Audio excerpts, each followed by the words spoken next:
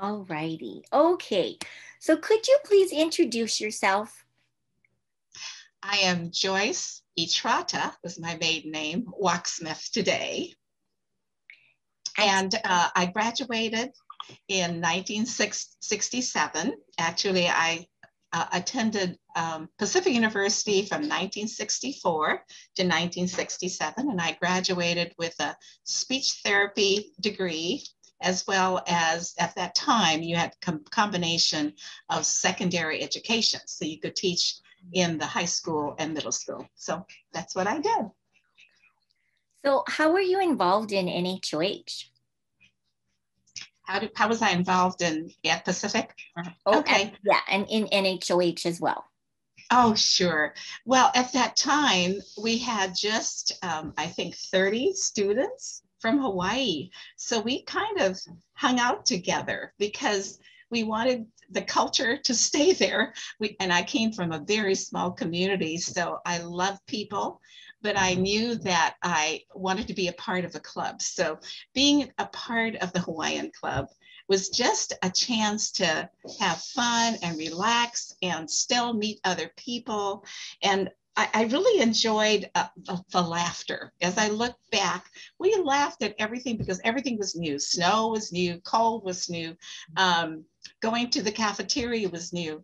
And, and uh, Lorraine Dodo, eh, she was from um, the Big Island. We ended up being roommates. They said they would never put two Hawaiians together. Well, I don't know. We became very close friends. And um, she, she and I would come back from eating in the cafeteria, the student center, and we would cry together because we didn't have good rice, the sticky rice. And we missed it because we had it almost every meal in Hawaii. But I look back at that, and those are just fun things.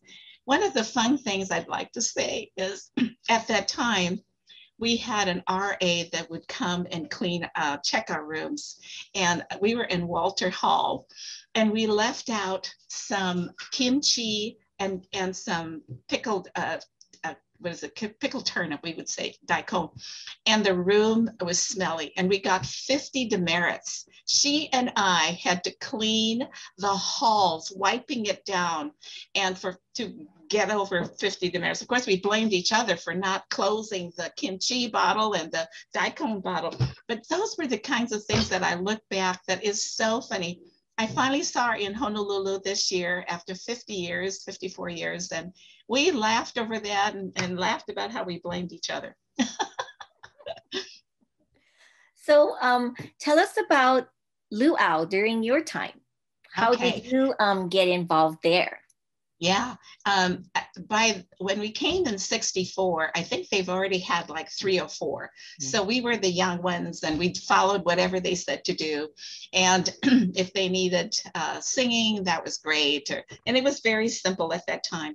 Our leader was Dr. Scheller and I know he's been passed. And, and so he was so much fun. He was such a loud spoken man. So he would direct us and we followed, you know, we're very uh, follow through with whatever he said. And he wanted us to succeed. So the first luau in 66 uh, that I was the coordinator in, um, I decided that I didn't want just rice plopped on the plate, you know, for the luau. So I convinced my classmates to make uh, musubi, which is not the, the original musubi where you put something in the middle, but it's just in a cone shape. Mm. So we had to make hundreds of this. And I can't tell you, by 11 o'clock, everybody was kind of saying, Etrata, what stupid idea you had in doing this. And I felt so bad because I was tired along with them. But once you start a few hundred, we had to finish. And we did. We finished it, but laughed and laughed and laughed. And so for the last next two years, I got teased. Hey, Etrata, you want to make some musubi? Oh, no, no, next time, next time. The second story about the luau was because of the entertainment. Um, uh, Dayton Aruda and I were asked to sing the Hawaiian wedding song. And Dayton was somebody who was always teasing, and so was I. We got up on the stage and looked at each other and started laughing. We couldn't even begin the song. So thank goodness, I think Esmond Chung was the uh, announcer. He got up, he kind of covered us for us, and, and then we went off stage, got our laughs out, came back and I, I said, this is serious now, David, stop it. We've got to do this. And so, so we did, we finished the song, but I tell you, that was so funny. The third one that I think back about um, being part of the, the luau is the after party because we had all the real Hawaiian food that was graciously sent by our parents. I think I will be forever grateful for our parents who helped out with each luau like it is today. Great.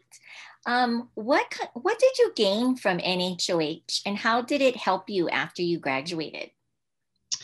I think probably I know that I uh, in high school was a leader, um, but I think it gave me opportunities uh, in leadership and working on a team and how to um, be a part of sharing the culture of Hawaii and to maintain that because in several years ago when I was asked to be queen for the luau at Pacific University, I just was overwhelmed with the excellence and the authenticity that has developed through the years with the luau.